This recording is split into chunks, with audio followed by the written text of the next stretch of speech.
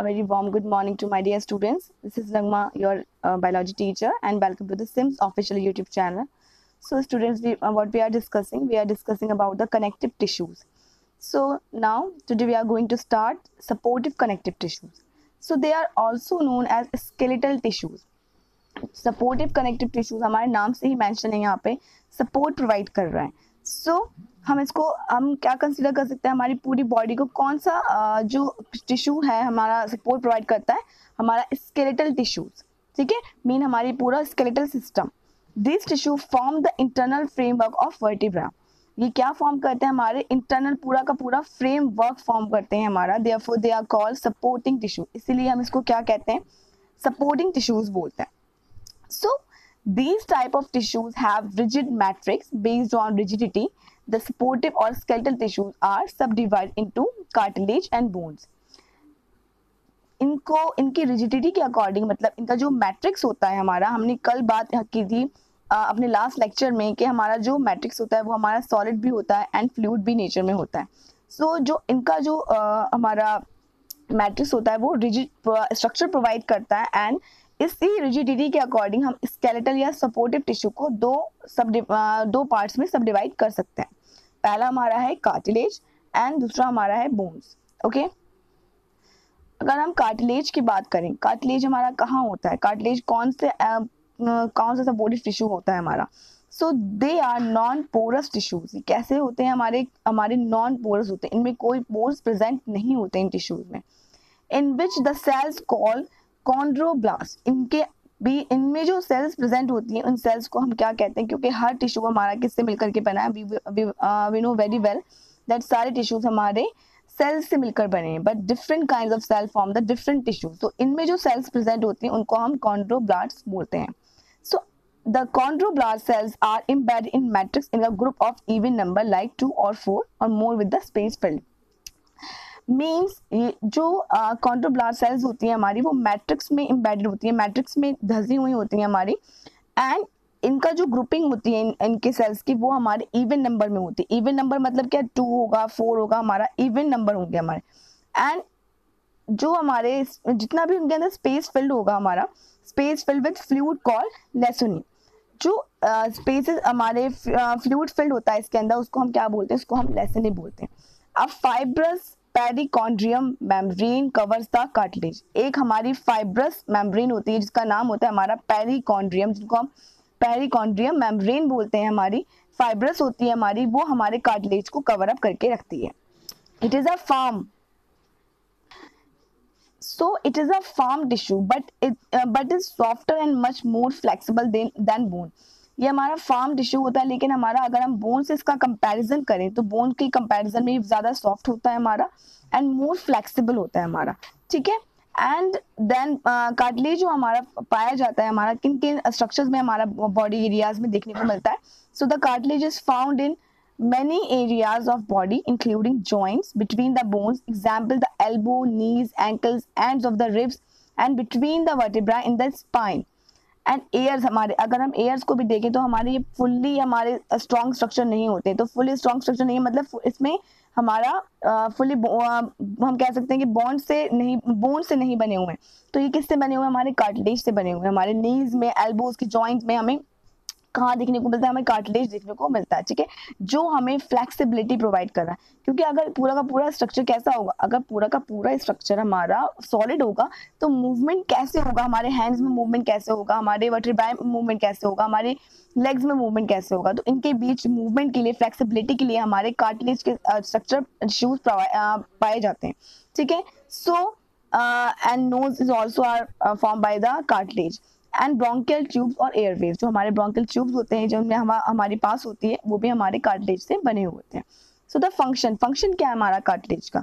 They provide support and flexibility in the vertebrates जो vertebrates होते हैं यानी कि हम तो उनमें क्या प्रोवाइड करता है? हमारा फ्लेक्सिबिलिटी प्रोवाइड करता है। फ्लेक्सिबल स्ट्रक्चर है हमारा एंड सपोर्ट प्रोवाइड करता है। Next one we have the आप पहले इसका स्ट्रक्चर देख सकते हैं हमारे कार्टिलेज एंड बोन्स के बीच में। ठीक है? जी आप स्ट्रक्चर देख रहे हो कार्टिलेज एंड बोन का, कि इनका क्या रिलेशन है? इसी स्ट्रक्चर को हमने, ये जो बीच में कार्टिलेज का स्ट्रक्चर है, यहाँ पर हमने जूम करके दिखाया है, जो ये आपको स्ट्रक्चर दिख रहा है। इसमें हमारा न्यूक्लियस प्रेजेंट है कॉन्ड्रोसाइट सेल्स प्रेजेंट है, क्योंकि इनमें कार्टिलेज हमारे कौन से सेल्स बने हुए कॉन्ड्रोब्लास्ट सेल के बने होते हैं। माइट्रोकॉन्ड्रिया प्रेजेंट है लेसिन प्रेजेंट जो फ्लूड फिल्ड है हमारा, वो लेसिन निकलाता है। ठीक है? लिगामेंट्स हमारे और जो हमारे बोन्स के बीच में साइनोवियम हमारा जो साइनोवियल फ्लूड होता है हमारा जो कि हमारी जो हड्डियाँ होती हैं हमारे बोन्स अगर आ, इनके बीच अगर फ्लूड ना हो तो क्या होता है कि हड्डियाँ रिसने लगती हैं ठीक है? तो जॉइंट्स प्रॉब्लम हो जाती हैं। तो इसमें क्या होता है? साइनोवियल फ्लूड होता है जो उसको क्या करता है? सॉफ्ट सॉफ्टनेस कह सकते हैं हम हमारा बोन्स को प्रोवाइड करता है।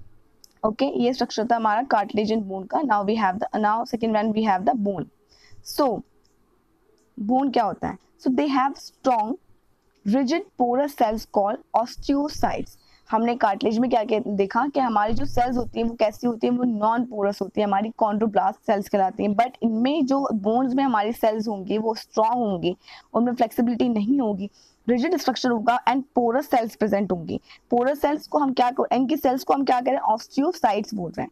सो ऑस्टियोसाइट्स और bone cell which are present in concentric rings call lamellae जो हमारी ऑस्टियोसाइड या हम कह सकते हैं बोन सेल्स होती हैं, वो हमारी कंसेंट्रिक रिंग के प्रेजेंट कंसेंट्रिक रिंग बनाकर प्रेजेंट होती हैं और इसको हम क्या बोलते हैं? लेमिले बोलते हैं। With space filled with fluid call lacunae इसमें भी हमारा जो स्पेस खाली होता है उस पर हमारा फ्लूड फिल्ड होता है। एंड इसी स्पेस को हम क्या बोलते हैं? लेसन फ्लूड को हम क्या बोलते हैं? लेसनिंग बोलते हैं। So the bone cells connect with each other with the help of fine canals called canaliculi जो हमारी bone cells connect with each other with the help of fine canal जो बोन सेल्स होती हैं, इनके बीच connection होगा क्योंकि grouping हो रही है टिश्यू का फॉर्मेशन करिए हमारा बोन क्या एक तरीके से हमारा कनेक्टिव टिश्यू का काम कर रहा है। अगर हम इसको अच्छे से ध्यान लगा के सोच रहे तो हमारा बोन क्या कनेक्टेड टिश्यू है? कनेक्टेड टिश्यू है तो सेल से मिलकर के बना होगा। सेल्स में कनेक्टिविटी क्यों है? सेल्स में कनेक्टिविटी किसके थ्रू है? सेल्स में कनेक्टिविटी हमारी फाइन कैनाल्स के थ्रू है, जिसको हम क्या बोल रहे हैं? कैनले क्योराए बोल रहे हैं। ठीक है, ये जो कनेक्टिविटी वाली फाइन कैनाल्स होती हैं, जो हमारी सेल्स को कनेक्ट करके रखती है, इनको हम कैनले क्योराए बोलते हैं which are projection form from lacunae जो हमारे प्रोजेक्शन लेस्यूना के प्रोजेक्शन से फॉर्म्ड होते हैं।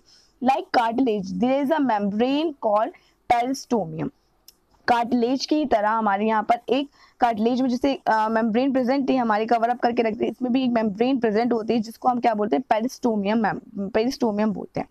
The matrix of bone is filled with the carbonates and phosphate of calcium and magnesium हम अमूमन तौर पे यही बोलते हैं कि बोन्स हमारी किससे बनी होती है? हमारे बोन्स में हमारे कैल्शियम प्रेजेंट होता है फॉस्फेट प्रेजेंट होता है। तो हम क्या कह सकते हैं, जो इसका मैट्रिक्स होता है हमारा, वो किस चीज़ से? कार्बोनेट से भरा हुआ होता है। कार्बोनेट्स किससे? कार्बोनेट्स एंड फॉस्फेट के, किसके? कैल्शियम और मैग्नीशियम के। ठीक है? अगर हम फ़ंक्शंस देखें फ़ंक्शंस क्या क्या है हमारे?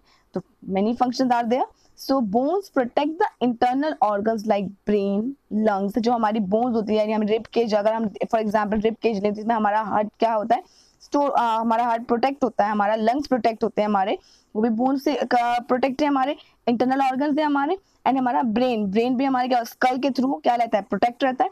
And give a frame to body और हमारी बॉडी को जो एक स्ट्रक्चर फ्रेम फ्रेम प्रोवाइड कर रहा है, वो भी हमारा बोन के थ्रू ही हो रहा है स्केलेटल के थ्रू ही हो रहा है, ठीक है? अगर बोन ना हो तो ये जिस स्किन है, हमारी ये लटकी रह जाए तो बोन क्या प्रोवाइड कर रहा है? इनको एक फ्रेम प्रोवाइड कर रहा है हमारे किस चीज़ को बॉडी को। So they provide skeletal support and help in locomotion तो क्या, हम क्या कह सकते हैं इसको कि स्केलेटल सपोर्ट प्रोवाइड कर रहा है और हमारा लोकोमोशन में, क्योंकि मूवमेंट हम किसके थ्रू कर पा रहे हैं? हमारा मूवमेंट हम किसी भी चीज़ को पिक कर रहे हैं मूव कर रहे हैं, हम खुद मूव हो रहे हैं, कोई भी काम करें शॉर्ट हम कह सकते हैं, वो उसमें किसके थ्रू हो रहा है? हमारा स्केलेटल सपोर्ट प्रोवाइड कर रहा है, हमारे बोन्स के थ्रू हो रहा है, ठीक है?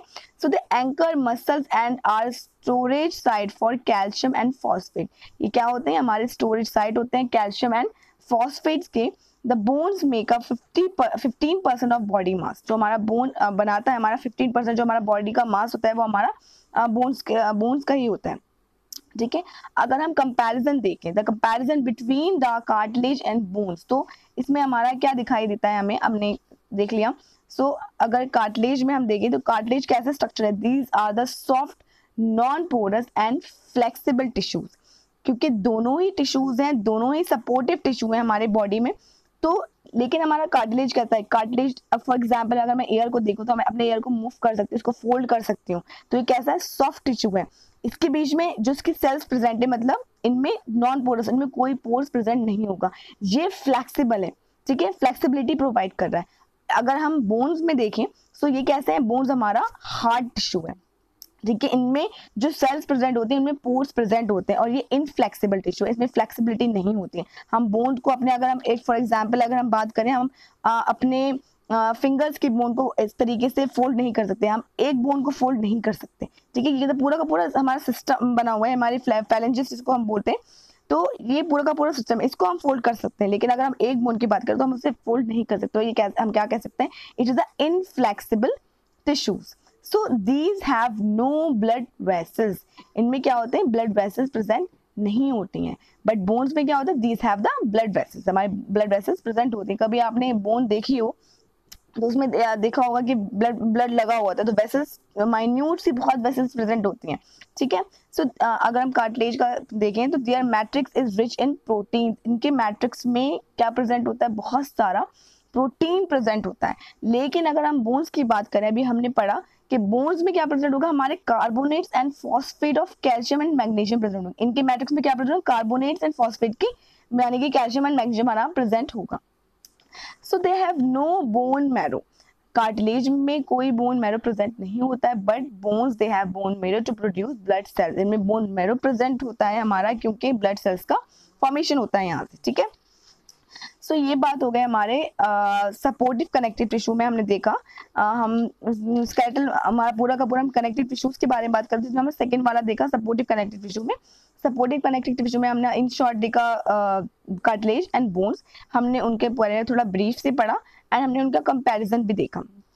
So this is it for the today's the next video we will talk about the uh, uh, next topic and if you have any query any doubt you can ask me uh, students. And uh, um, मुझे मेरा यही advice है कि आप सारी videos को revise करते चलिए। तो so, uh, आपका बहुत अच्छे से रिवीजन हो जाएगा। ठीक है? So best of luck and God bless you thank you so much